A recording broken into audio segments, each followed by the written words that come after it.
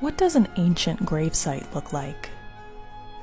This structure dates back to the Neolithic era, and archaeologists believe this man made cave was used as a ritual burial ground. Human remains and cryptic markings have been found throughout the four rooms, including a strange figure carved at the entrance, known as the Guardian of the Tomb. You can see Le Déhus when you visit the island of Guernsey.